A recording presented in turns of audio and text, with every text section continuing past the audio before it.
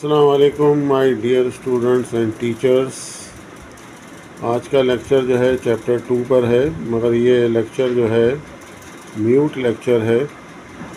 इसमें हम एक्सरसाइज 2.1 के सवालों को सिर्फ़ हम देखेंगे और सॉल्व आप कीजिएगा। सॉल्व किया हुआ है सोल्यूशन इसका कंप्लीट है।